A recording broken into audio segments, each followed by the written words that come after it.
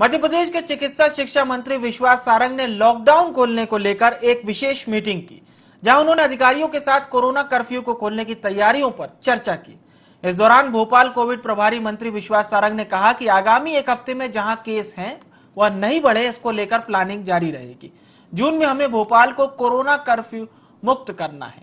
मंत्री विश्वास सारंग ने साथ ही जानकारी दी कि रेड, ऑरेंज और ग्रीन कलर जोन बनाए जाएँगे, उसी के हिसाब से माइक्रो कंटेनमेंट जोन बनेंगे।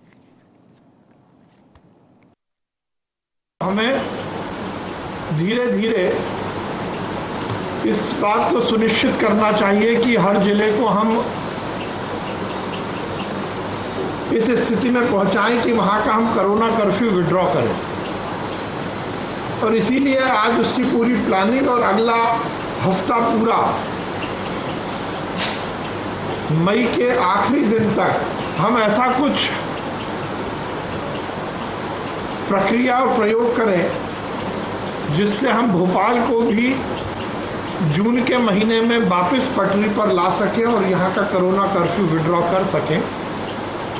उसकी हमने आज बैठक की है प्लानिंग की है, किस क्षेत्र में कितने हमारे पॉजिटिव केसेस आ रहे हैं।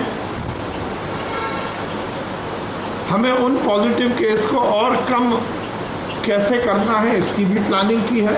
और अब हमने ये निश्चित किया है कि हम तीन कलर कोडिंग कर रहे हैं रेड ऑरेंज और ग्रीन तो उस हिसाब से अलग अलग क्षेत्र में किस कलर कोड में वो क्षेत्र आता है, उस हिसाब से प्लानिंग की जाए